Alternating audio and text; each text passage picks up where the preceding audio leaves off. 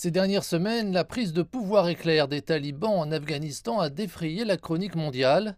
Cet épisode a suscité de nombreuses inquiétudes en Afrique où la présence des groupes terroristes s'intensifie. On craint que ces groupes trouvent à la fois des moyens et des endroits pour se réorganiser et prospérer malgré les interventions militaires. Des experts en sécurité comme Mustafa Ali, qui a écrit sur la dynamique changeante du terrorisme et de l'extrémisme, parlent d'un scénario dans lequel un pays ayant un gouvernement instable comme le Mali serait submergé par des milices. Uh, C'est le défi que nous devons relever en Afrique parce que de nombreux groupes peuvent prendre en compte les succès d'Al-Qaïda et des talibans et imaginer pouvoir faire de même. Je pense que nous avons vu à travers les canaux de certains groupes tels Al-Shabaab qu'ils se tenaient informés de l'évolution des événements en Afghanistan et qu'ils n'étaient pas mécontents d'observer ce qui s'est passé. Je pense donc que ce facteur d'inspiration existe bien. En Afrique, les insurrections concernent trois principales zones géographiques. L'une est la Somalie, où le groupe Al-Shabaab, lié à Al-Qaïda, a pendant des années provoqué l'instabilité des régions frontalières du Kenya et inspire maintenant des groupes violents au Mozambique et en République démocratique du Congo.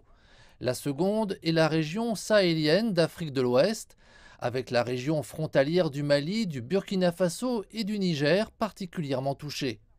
La dernière est la zone située autour du lac Tchad, où le conflit affecte directement le Cameroun, le Tchad et le Nigeria. Mustafa Ali et Omar Mahmoud soulignent que les événements en Afghanistan devraient être examinés attentivement par les États africains, étant donné que de nombreux pays occidentaux deviennent extrêmement réticents à accroître leur engagement dans la lutte contre les groupes terroristes après la chute de l'Afghanistan.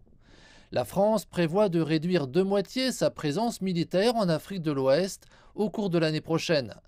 Le mandat de la mission de maintien de la paix en Somalie soutenue par l'ONU se terminera en décembre de cette année.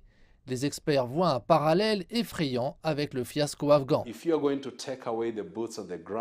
Lorsqu'on retire des troupes du terrain, ce qui se passe, c'est que des terroristes viennent combler ce vide et cela devient contre-productif.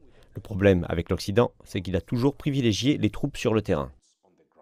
Pour Mustafa Ali, c'est la raison pour laquelle la réponse américaine en Afghanistan après l'attaque du 11 septembre était vouée à l'échec. Nous avons besoin de ces troupes sur le terrain, mais elles doivent être soutenues par des programmes très solides pour s'attaquer aux fondements idéologiques du terrorisme et traiter les doléances pour s'assurer que les communautés s'éloignent de la pauvreté et des situations conflictuelles. Nous avons souvent ignoré l'environnement plus large dans lequel certains de ces groupes ont prospéré et cela signifie la nécessité d'examiner les conditions sous-jacentes. L'espoir est que 20 ans après les attentats terroristes du 11 septembre aux États-Unis, l'Afrique a beaucoup appris de la façon dont l'Amérique et les pays occidentaux ont répondu à la menace terroriste.